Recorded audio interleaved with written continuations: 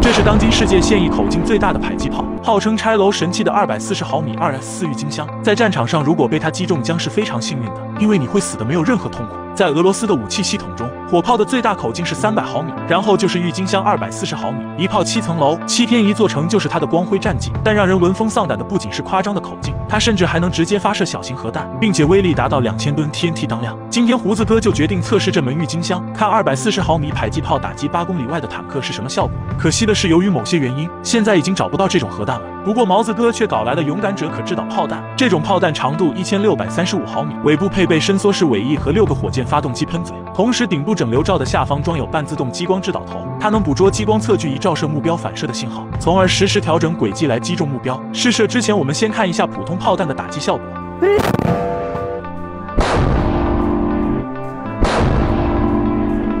伴随着一声巨大的闷响，炮口喷出的火光犹如一朵盛开的郁金香，这也是它名字的由来。而远在八公里外的着弹点，方圆五十米范围直接被炸成一片焦土，破片的范围更是达到了两百米。由于不是精确制导炮弹，所以这次偏离了目标六十米远。于是毛子哥重新调整了参数，并再次发射了一枚。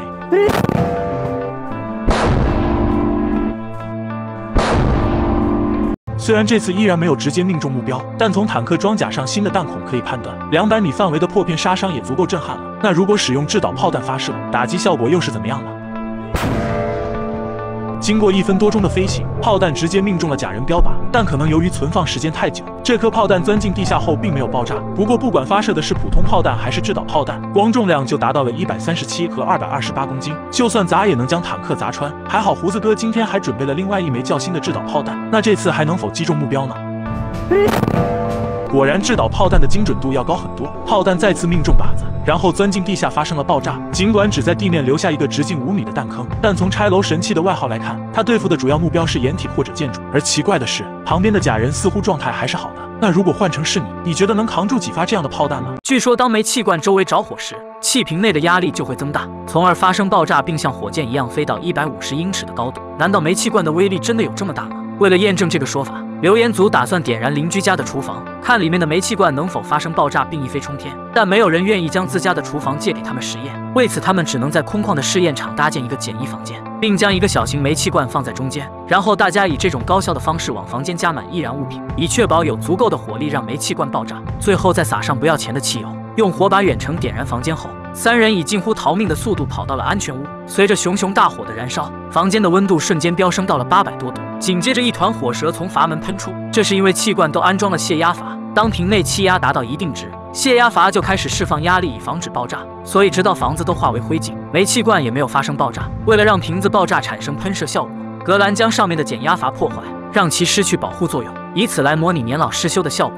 接下来，他们再次来到实验场上，而这次他们改变了实验方案。为了让爆炸从瓶底发生，他们用一个火炉对煤气罐的底部持续加热。这次又能否像火箭一样一飞冲天呢？托瑞将气瓶放在火炉上之后，所有人再次躲进安全屋。十分钟后，气瓶开始膨胀，并且越来越大。为避免爆炸伤及无辜，请大家做好扶稳。随着一声巨响，煤气罐被炸得四分五裂，碎片甚至飞到了三百英尺以外。虽然威力惊人，但还是没有出现火箭喷射的效果。那如果直接在煤气罐的底部钻一个小孔，当气压达到一定值时，小孔就会最先被撑爆，从而释放高压气体，这样是否就能达到火箭升天的效果呢？托瑞首先将一个空瓶子切开，并测量底部罐体的厚度，而格兰把全新的煤气罐底部钻出原有厚度一半的小孔，让其成为罐体最薄弱的地方。接下来，他们来到爆破场地，托瑞点燃火炉后，将煤气罐立在上面。四分钟后，瓶子由原来的白色烧成了黑色，紧接着发生了剧烈爆炸。虽然爆裂是从底部开始。但并没有想象中产生火箭喷射的效果。格兰分析是因为满装的瓶子没有空间让气体扩张产生压力，而如果换一个装有少量液态燃料的煤气罐，是否就能产生更大的压力，从而发生爆炸喷射呢？下面凯利重新点火后，实验再次开始。随着罐体逐渐变黑，煤气罐终于发生了爆炸。巨大的压力将瓶子发射到了六十英尺的高度，虽然没有留言中一百五十英尺高，但确实能像火箭一样发射升空。而为了让煤气罐飞得更高，他们再次升级了实验方案。托瑞打造了一个十英尺长的发射器，并在火炉的底部安装了手枪。当煤气罐加热到一定程度时，只要扣动扳机，让子弹击穿罐底，瓶子就能沿着导轨一飞冲天。所有准备就绪之后，凯利点燃了火炉。八分钟后再扣动扳机，只见煤气罐的底部喷出巨大火焰，如同火箭一样发射升空。所以给煤气罐加热的做法非常危险，大家千万不要在家尝试。据说如果有手榴弹在你身边爆炸时，只要卧倒在地上就能逃过一劫。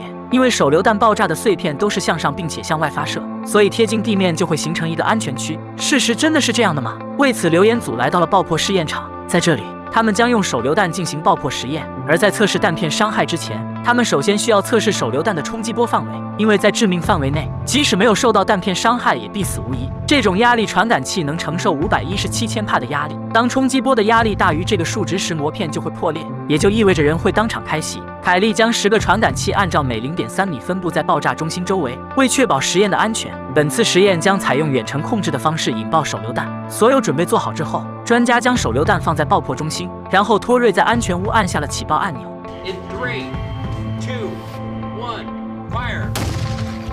通过检查发现，一点五米内的膜片全部损坏，而一点八米处却完好无损。也就是说，手榴弹的冲击波致死范围为一点五米。接下来，他们开始测试爆炸弹片的分布轨迹，看贴近地面的位置是否存在安全区域。下面留言组在爆炸点一点五米处放置了一圈木板，红色区域代表人在卧倒的位置。当手榴弹爆炸时，弹片将在木板上留下弹孔。如果红色木板没有弹孔，则表示为安全区域。最后，他们又在顶上放置一块塑料板，以便全方位了解弹片的分布。为对比不同手榴弹的杀伤效果，本次实验将用两种不同年代的手榴弹进行测试。虽然它们形状不同，但内部都有无数细小弹片，在爆炸时将以两万二千英尺每秒的速度射出。首先测试的是中世纪的波罗手榴弹。一切准备就绪之后，所有人躲在安全屋。随着一声巨响，无数碎片向周围四散开来。不管是上方的塑料板还是木板，都已经千疮百孔，而下面的红色区域也没能幸免。接下来，他们重新更换了木板，并在中心点放置一颗现代的棒球手榴弹。然后，凯莉按下了起爆按钮。这次的威力明显比之前的大很多，木板上的弹孔更密集。但通过弹孔数量对比发现，红色区域的弹片密集度相对较低。所以，虽然卧倒并不能幸免于难，但在紧急情况下，这依然是最好的选择。本次实验极其危险，请大家不要模仿。据说，如果高压气瓶的阀门被撞坏了，瓶子就能瞬间变成火箭，四处飞窜，甚至可以冲破墙壁。难道气瓶的威力真的有这么大吗？为了验证这个说法，留言组决定修建一面水泥墙，然后当着水泥墙的面砸坏高压气瓶的阀门，看能否像火箭一样冲破墙面。毫无疑问，修墙这样的体力活当然是交给新来的实习生。为了让气瓶沿着直线飞行，吉米打造了一个固定方向的导轨装置，并在上面焊接了两个支架，以保证砸落的时候气瓶不会脱离轨道。而亚当则在导轨的末端安装了圆管。实验时，将四十磅的钢条从圆管中释放，从而砸坏气瓶的阀门。下面，他们带着气瓶来到军用碉堡，里面的水泥墙已经修建完成。为了展示钢条的威力，亚当现场为大家表演胸口碎大石。两人将导轨安装在水泥墙的正前方。为了测试钢条砸落的力道，亚当将水泥砖放在了装置下，随后拉下了释放绳索。只见砖头被砸得粉碎。而接下来，他们将用每平方英寸压力达到两千六百磅的气瓶进行测试，看它能否像火箭一样冲破水泥墙。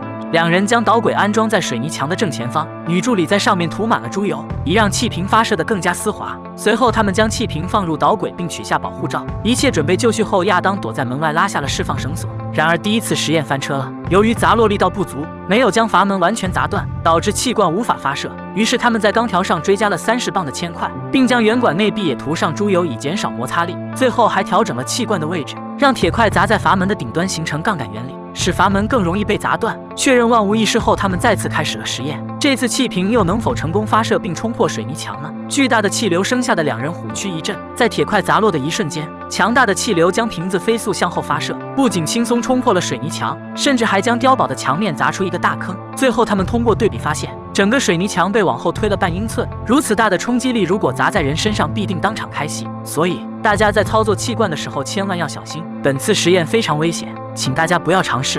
据说，如果有人用火箭弹向你开炮，你可以尝试用手枪将它引爆。在电影《赤焰战场》里，当歹徒发射火箭弹时，男主一枪将火箭弹引爆并干掉了歹徒，而男主却毫发无伤。难道子弹真的可以引爆火箭弹吗？为了验证这个说法，留言组来到了火箭实验基地，并且托关系搞到了火箭弹。本次实验由武器专家进行监督，而在实验之前，他们对老奶奶卖早餐的拖车进行了发射。Three, two, one. 就在一瞬间的功夫，拖车被炸成了渣渣灰。而慢镜头显示，在拖车爆炸之后，烫手的熔铜弹头还在继续飞行，将后面的钢板融出一个大洞。那它与发射的子弹相撞，又会发生什么呢？为了让子弹精准的命中火箭弹，他们用两条绳子制作了导轨装置，这样火箭弹就能沿着绳子的方向飞行，并且会在中间的某个位置触发手枪的信号装置，从而让子弹精准的击中火箭弹。实验道具准备好之后，所有人躲在安全屋开始实验。Three, two, one. 突然一声巨响，大家还没反应过来就已经结束了。通过高速相机显示，虽然火箭弹成功发生了爆炸，但由于绳子绷得不够紧，导致火箭弹发生了抖动，使它和子弹不在同一水平线上，并且手枪的信号装置也不够灵敏，所以枪口也没有发射子弹。于是他们重新改进了导轨装置，将绳索绷紧，并提高了手枪信号装置的灵敏度。这样又能否顺利引爆火箭弹呢？Three, two, one.